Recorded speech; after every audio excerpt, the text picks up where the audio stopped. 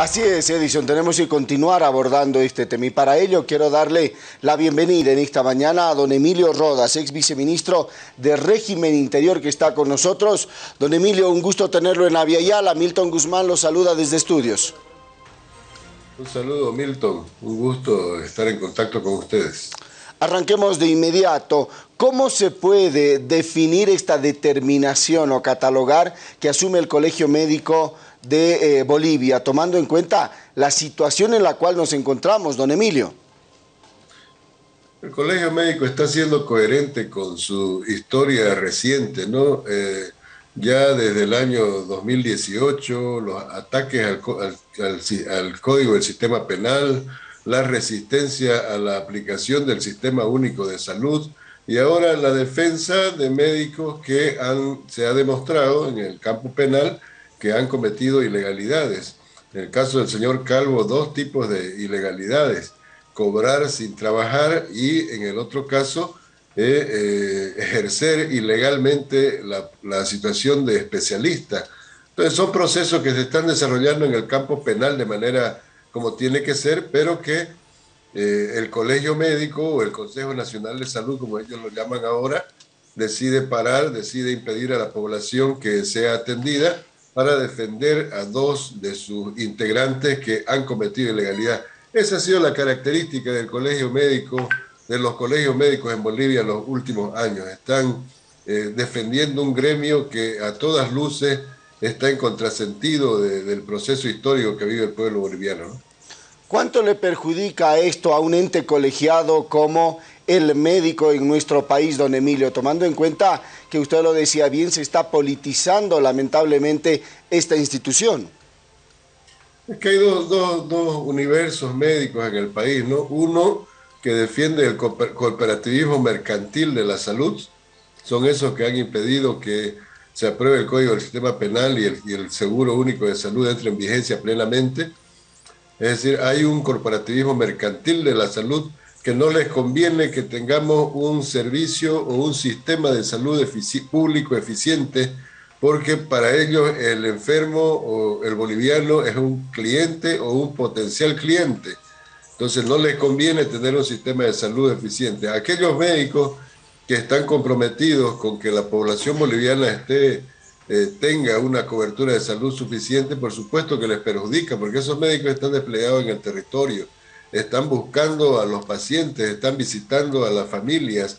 Entonces, cualquier tipo de medida como esta es un perjuicio. Mucho más en una situación de, en que estamos en la, eh, en, la, en la, pandemia de, de, COVID y que termina eh, parando muchas veces los sistemas de vacunación, termina parando los sistemas de pruebas que, que se hacen permanentemente. Entonces, es un tema totalmente perjudicial, pero que es coherente con la línea de ese bloque mercantil de la salud que representan los colegios médicos.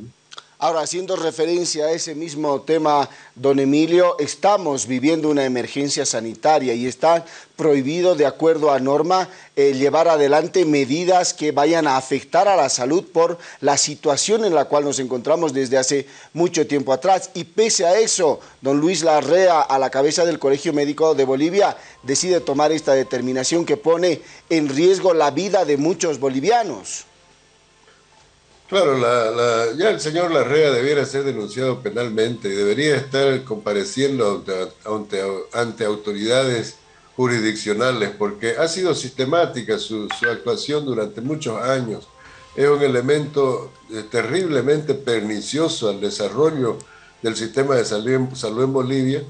Entonces hay que, hay, que, hay que tomar medidas, hay que tomar acciones por parte del gobierno, el Ministerio de Salud, no puede permitir que este tipo de, profesionales terminen afectando la política de salud del país. Ahora necesitamos un sistema de salud totalmente vigoroso, totalmente enérgico, que esté en todo el territorio nacional, que se esté atendiendo en su mayor capacidad a los bolivianos. Y resulta que estos señores, para defender a dos médicos logieros, eh, nos lanzan un, un paro nacional. Entonces, ¿qué sentido tiene esto? Los que hacen esto debieran responder ante, ante las autoridades jurisdiccionales de sus actos. No puede ser que de manera impune se actúe en contra de los intereses del pueblo.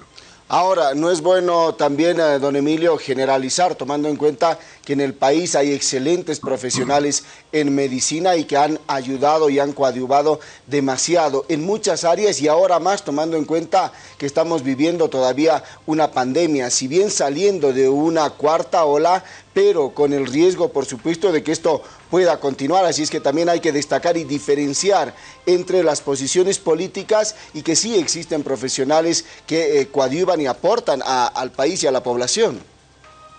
Sin duda, en el territorio nacional, en todo el territorio nacional, hay grandes profesionales, médicos que están, que están prestando un servicio a la patria en cada rincón, de la, en cada rincón del territorio nacional.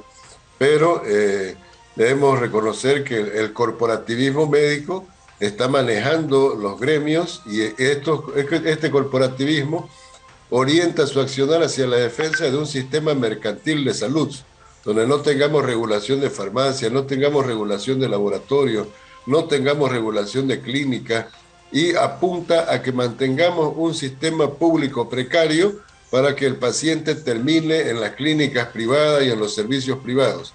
Eso, es lo que están manejando los colegios médicos en este momento. Hay miles de médicos comprometidos con su profesión, comprometidos con la población que hacen su trabajo a diario pero muchas veces están sometidos a, este, a estos bloques corporativos y terminan acatando para no verse afectados en su desempeño profesional individual.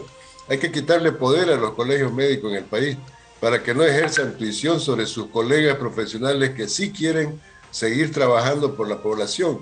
Porque en este momento, si usted quiere postular a una residencia médica para hacer una especialidad, tiene que tener el aval del colegio médico. Si usted quiere postular a una beca para hacer algún tipo de, especialidad en su área, tiene que recurrir al colegio médico.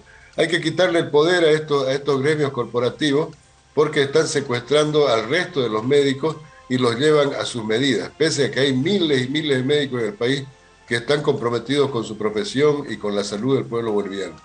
Don Emilio, quiero agradecerle por estos minutos con Aviala, un tema amplio sin duda alguna el que eh, estamos abordando, pero hay que continuar y por, por supuesto, como decía el ministro de Salud, trabajar para poder tener una mejor salud y una excelente administración de esta área en nuestro país. Muy amable por estos minutos. Muchas gracias Milton, un saludo a Aviala.